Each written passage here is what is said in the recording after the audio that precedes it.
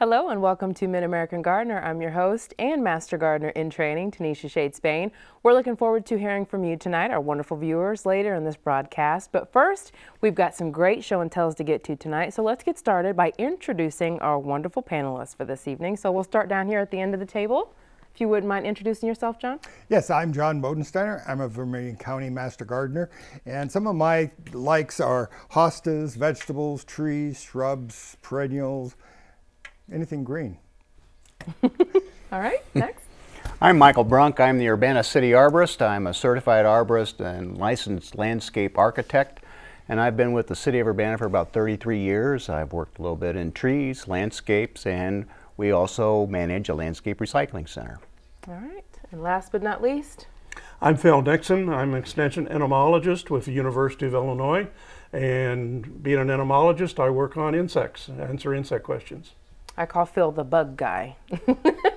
All right, we're going to start with you, John. We've got show and tells this evening. Okay. So, what have you got for us? Well, I, I brought some hostas today. All right. Um, I brought some big ones. This is Empress Wu.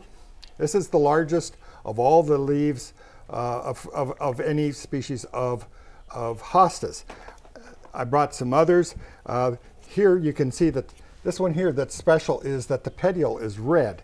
Uh, here the is, is from the same plant, and this part is called the scape for the flower, and that is red. Nice. And then this is just showing some of the variegations, and it, there's 7,400 different varieties of hostas, and that's growing all the time. And anybody that would be interested in hostas, if you would be interested in it, this, this hosta book here, the Hostapedia, answers just about every question that you could ever have. Also brought some of my tiny ones. If you compare my Empress Wu with Mighty Mouse, you can see it's Mighty Mouse isn't so mighty. And I, I took a sand casting of not this particular leaf, but one of its sisters, and this is made from cement. And it's, it's, it's weighty, but if you want to preserve it and make a butterfly uh, bath for it, uh, th they work really well. Now, how about how much does that weigh?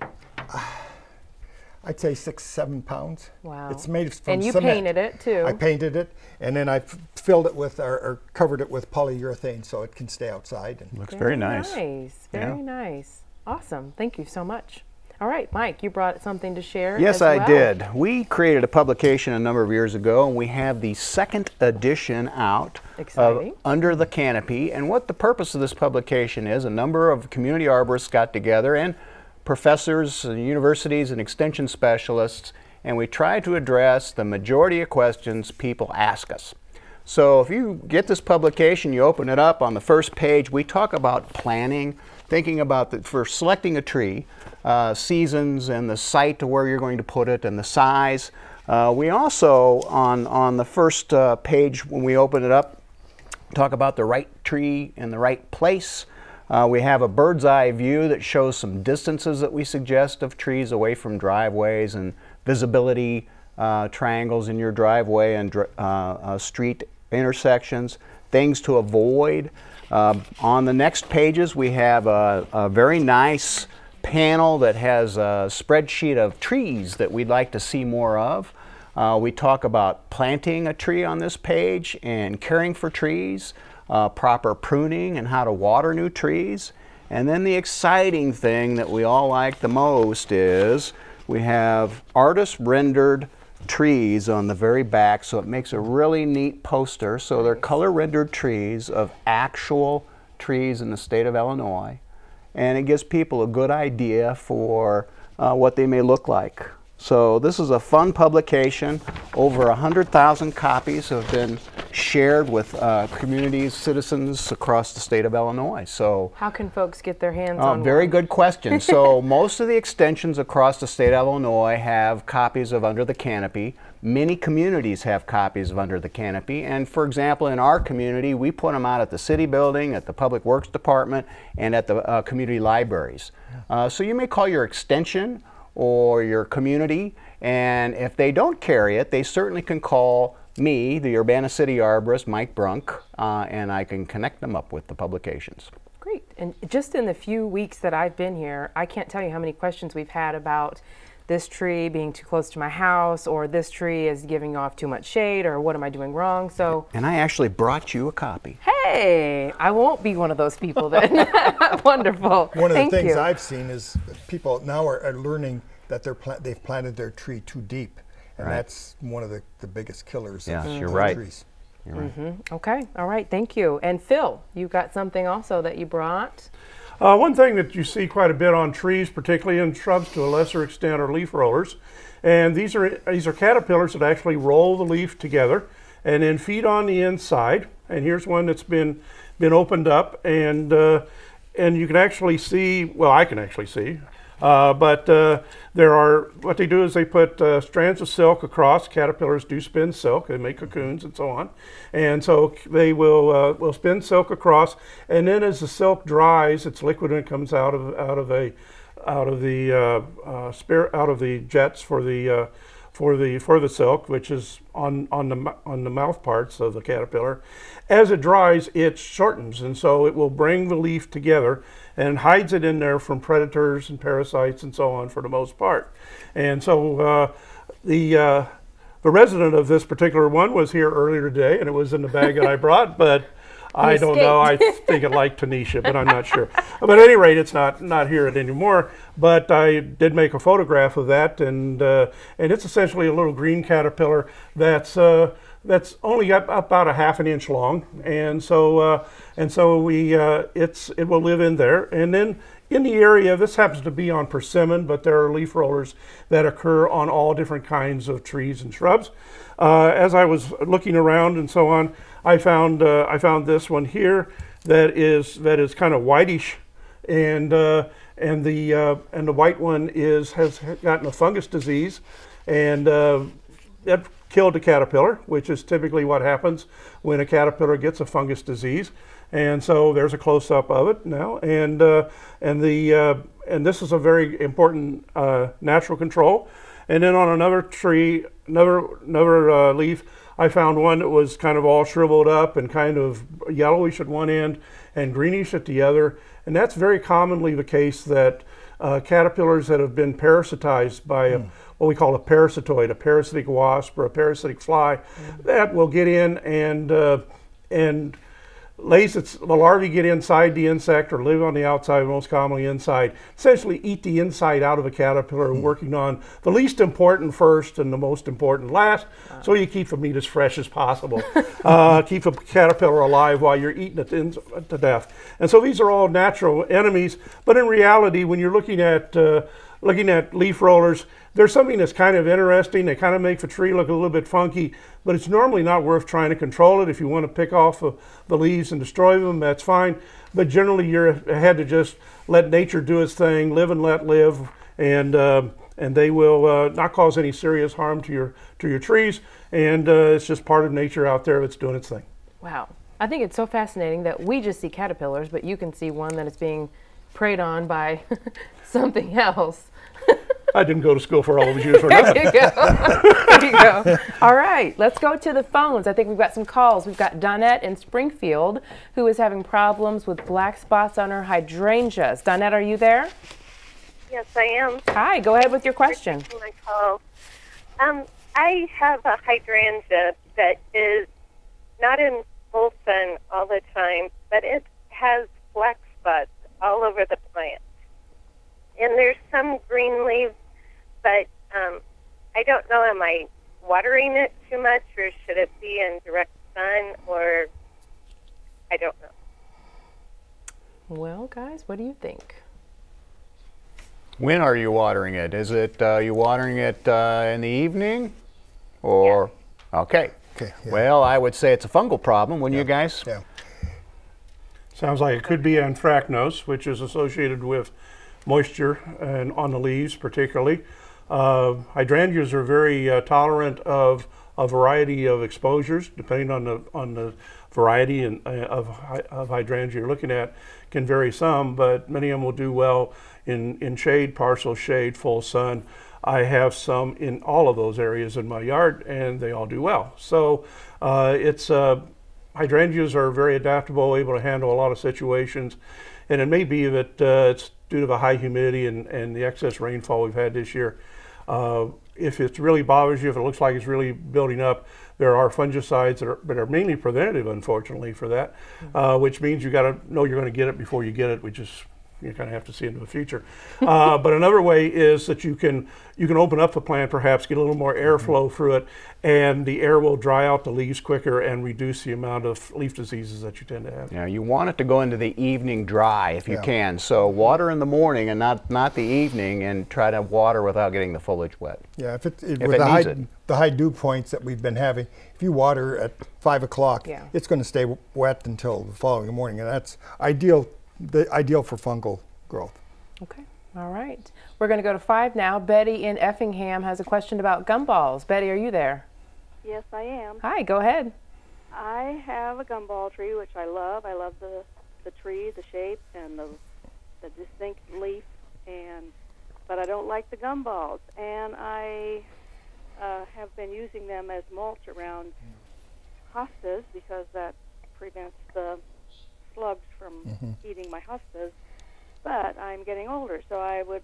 And then someone told me that there is an injection that an arborist can inject into the tree to prevent the gumballs, and I wondered if that is so, and and that there was a time frame to do that. So I'm I'm wanting to know about that before I you know go that route. Well, there there's a spray. I'm not mm-hmm. Uh, up to date on any injection. There's a spray with a product called Florel. Um, the timing is critical. It needs to be done in the springtime when the the flowers are emerging or partially emerge. So uh, it's all explained on the product, and a good certified arborist should know how to do that. Uh, it's critical that you spray the entire tree.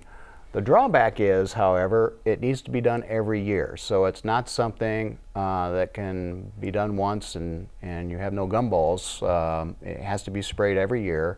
It can be washed off. Um, so it's a 50 50 shot. So you have to balance the economics behind having somebody do it and dealing with the gumballs. It may be um, uh, more better deal for you to hire somebody to rake up the gumballs. So it's a matter of getting quotes from some good certified arborists and comparing that with what the cost would be to hire somebody to, to clean them up when they fall, I think. Okay. All right. Going to Dave in Atwood with a micro clover question. Dave, are you there? Yes. Hi, go Uh, ahead. I've been considering uh, adding micro clover uh, to my uh, lawn. Uh, it's 25 year old. I planted it 25 years ago, bluegrass, and I live in the country and I've battled weeds of every fashion ever since, and I'm about ready to throw in the towel and go with the flow. And I've read on about using uh, regular Dutch white clover as well as uh, more recently these micro clovers. Uh, do you know anything about it? I can't say that I do. I, I have a situation where I have several kinds of grasses, and I'll let you talk about the microclover, but Yeah. I, I like tall fescue. It's very dense, uh, it's aggressive, and my tall fescue areas don't have the weeds in them that the bluegrass areas and do. And it's much more tolerant of our temperatures and droughts and everything like that. Getting back to your, you know, if your bluegrass is very patchy, yeah, you're going to be getting weeds and things like that. But if you overseed it with tall fescue, um, perennial fescue, then then it's it's you, you could solve it that way. Some of the cover crops, the, the clovers and that are getting to be popular in lawns, especially as bee hosts, because you are going to have the flowers. And so um, call the extension office. They have handouts on that. I know uh, Vermilion County and, and Champaign County both have it. And uh, they've got lots of good information. There's positives and negatives. Uh, it depends on what you want your lawn to look like because uh, you're going to have that color flower in there. It's just not going to be um, green. It's going. You're going to have those, but those flowers are going to attract lots of of uh, bees and other other beneficial insects too. Okay. All right, we're going to go to six now. Kay in Decatur with a question about hostas, and we know who's going to answer that one. Kay, go ahead with your question. Hello. I was wondering, I just saw this huge leaf hosta, Does it have to be planted in the shade? And I have other hostas that get a lot of sun, and they're just uh, they're just oh going to town, boy. But I didn't know if the big leaf one had to be planted in the shade. I do have pine needles abundant. Didn't know if that might present a problem. What do you think? No, I, it, it, depending on, on your soil, um, hostas don't like dry to be real dry. Uh, this hosta here, the, the big one, is Empress Wu. And being it's so green, it will take a little bit more sun if it has the proper moisture. That's the key.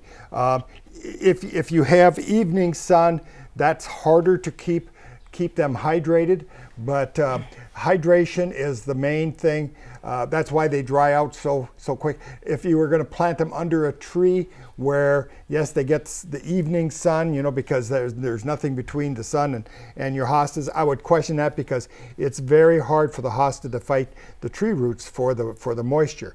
Uh, I, I, like to plant the ligularia near my hostas because it's kind of my my hydrometer, so to speak. And if the the ligularia is limp, if it's fallen to the ground, I know my hostas need watering, and um, the, the ligularia will fade before the hostas do. And you just want to watch for sun scorch, which is the main thing that you would see with sun, uh, hostas in the sun. But that one would do as well as uh, there is one that's called Sun Power that does good in full sun. Uh, it's a fairly new hosta. It's a yellowish hosta. It's not quite as big as this one, but it they, they are starting to come out with hostas that that do work well uh, in the sun. So again, it's it's it's one of those things that you know you have to work with. And hot, dry, compacted soils, right here. That's what you get. Concrete. All right, we're going to Les, who's in Danville, uh, with a question about less care in their garden. Les, are you there? Yes, I'm here. Hi, go ahead. I was wondering um, and I've been told that if I use less care on my garden around, you know, the plants to keep the weeding down, that uh, it will destroy the nitrogen in my soil. Is that correct? What they're talking about is if you work it into the soil. Um, it, it, you know, that's it's not composted. It's it's it's got it's wood and and fibers, and if you work it into the soil, it is going to rob some of the nitrogen out of the soil so that the, microbes will start to break that, those wood chips and, and fibers down. As far as it really affecting your plants, if you just lay it on top or if you lay some newspaper down and then put your less care on top of that, no, it's not going to, to rob your, uh, your garden of, of nitrogen. Uh, actually, after you put it down and a couple of years and those, those those cells start to break down, it's going to start to release nitrogen, and it's going to be the nice slow nitrogen that when you get a rain, it's going to penetrate the soil. And so in the long run, you'll get a lot more nitrogen if, if as long as you don't work it into the soil. Okay, we have a question specifically for Phil. Uh, Dell in Urbana. Dell, are you there? Yes. You've got a question for Phil. Phil, I've torn out all of uh, the uh, landscaping in the front of my house and in pl- replaced it largely by use of barrels, uh, synthetic barrels, and you have to drill holes in because they don't do it. So you got to have your drainage. I've done that this year. I've used a variety of annuals, and I know that they will not overwinter. So I plan to t- take them. I may, I may replace some of them with mums for the fall. Then I'm going to take them out for the winter. They are have a bed of garden soil in the bottom, and then they have potting soil on top. What do I do with those barrels when I've taken everything out for this season? To, how does that soil overwinter, and is there anything that I can do that will be helpful? Um, it's not really my area of expertise, but I'll give my opinion and then move it on to people know more. Uh, but at any rate, uh, the uh, uh the barrels, the soil will do well there. You want to make sure that, uh, uh, particularly if they're straight-sided, they should not have any freezing and rusting of the of the plastic barrels or whatever it is that you have them made out of. and then and then you want to make sure that that soil is still fertile for the next year. And me being a, a cheap gardener, uh, I would look and see how well the plants lived, grew in the year before, and when they get to where they're not growing like I think they should, with everything else being equal, uh, then it's probably time to change the soil. A better way would be a soil test, but I have to pay money for that. So uh, either way will work, and then I'll turn it over to people who really know what, I'm what they're talking about better. The only, the only concern I would have is when you have barrels or containers and you're watering those containers, you're leaching out all the, the, the minerals and, and changing the pH. So mm. pH is, is mm-hmm. probably what I would check utmost in the spring is see where your pH is. If it's not, if it's gone way acid or way basic, you need to neutralize that.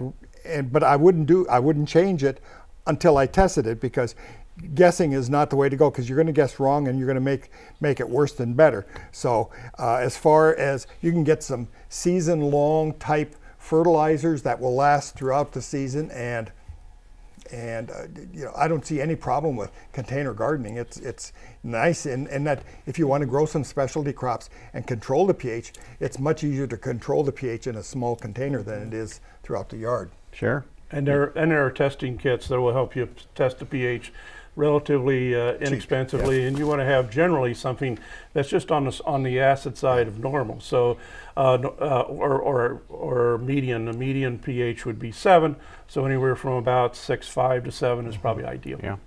Okay, we're going to go to six now. Marilyn in Decatur. She has a question about a bird feeder. Marilyn, are you there? Not a, not a bird feeder, but a tree. Oh, I I'm am sorry. Moving. I'm I'm moving, and I'm going to uh, plant a tree outside my window. I don't want a big tree, and I don't care whether it's flowered or otherwise, but one that will hold bird houses. Because so many trees, the branches are not uh, strong enough until it it gets pretty old. So I, I would like to know what kind of a tree I should get. Well, if it was me, uh, my first thought, uh, now they've got a little thinner branch structure, but I like the Amelanchier because it's flowering, it's got a, a nice fall color, and it has a berry that birds are attracted to. So that tree in and of itself will draw birds. So that's a thought. An Amelanchier, it's called a service berry. There's a number of varieties of service berries. Another one I like outside a window would be a Kousa dogwood. Um, it's got a little stouter branch. It has a very interesting bark on it, and it has spring flowers. And it's branched such a way that you could probably put bird feeders and bird houses in in that tree. Now, I, depending on your birds, you're not going to want to put them too close because they have their own little territory. So bird feeders and houses together probably wouldn't work very well. But those are a couple of suggestions. Okay, we're going to take uh, line five really quickly.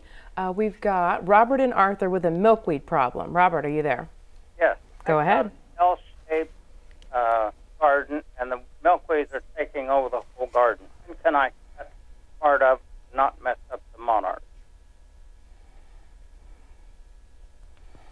Well, the monarchs are of course going to be feeding on the leaves, and if you just take out the plant, you're going to take out the monarchs with it. Uh, if you uh, if you want to transfer uh, larvae from one plant to another, if they're fairly large, you can pick them up with your fingers and move them fairly easily. Uh, if they're very small larvae, uh, you can use a paintbrush works well. That's what professional entomologists use to to move uh, to move tiny insects that have just hatched.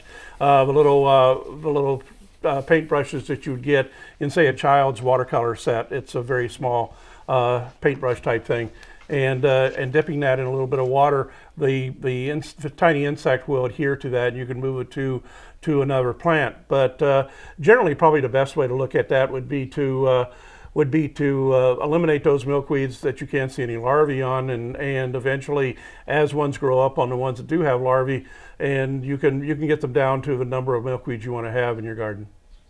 All right, we're going to go Diane on four. We've got two minutes left. Uh, Diane, what's your question? I have found several spots in our yard. Um, the best I can research, they look like, like necrotic ring spot and possibly some brown patch. I'm just wondering if you would recommend that the landowners try to treat this themselves, or is it something we should definitely call a professional to help us out with before it's too late? Got about a minute. it depends on what's causing it. Um, you know, if it's if it's you know we've had a, a really bad year, winter. If it's uh, it, it, could be grubs, it could be it could be just about anything. So first of all, we need to diagnose. So I would say you probably need to get somebody in there to find out what your problem is, and then you can treat it. Sometimes you can just overseed it and you know work it work the ground up this fall. Once uh, after Labor Day, then you start reseeding it a little bit. And uh, but I would call call somebody in to find out what your problem is, and then go from there. And there are fungicides that can treat brown patch. Yeah. And the plant clinic will help you identify what you've got. Always can count on the plant clinic. Okay podcast promo. Episode 16 is now available uh, for Mid American Gardener. In this episode, Victoria sat down and had a lesson from Jim Appleby on pine wilt disease. So definitely check that out on all places that you can find our podcast. You can leave us a voicemail, you can find us on Facebook, and you can also find us on Instagram. So several ways to reach out and find us. And before we go, we would like to say thank you and goodbye to Nick Olson, one of the crew members here. He's actually, this is his last show this evening and he's leaving for grad school. So we want to say thanks so much to him for all of his uh, work on the show and best of luck in the future. So, guys, we had so many phone calls we didn't get to answer any of our email questions, but that's a good that's thing. Right. That's right. That's a good thing. We had lots of calls. So we will see you next week. Thanks so much for watching. Good night.